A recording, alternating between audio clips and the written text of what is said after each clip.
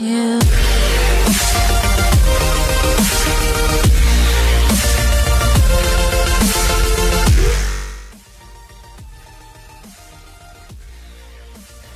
everyone, my name is Marina and you're watching myDIYtifuLife.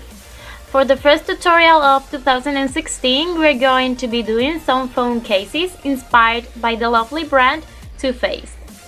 Okay, so the first thing you gotta do is go into my blog, which is on the screen right now and will be linked down below too, and download the images I created.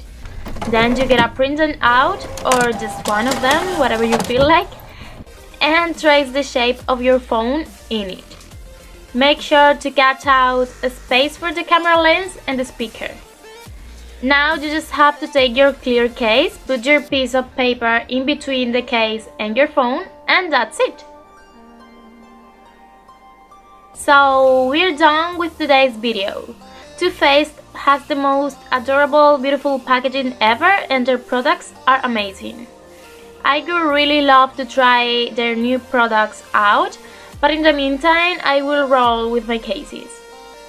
Anyway, I really hope you enjoyed the video. Don't forget to subscribe if you haven't already cause brand new room decor DIYs are coming next week and I bet you don't wanna miss that out. Thank you so much for everything, have an amazing day, kisses, bye!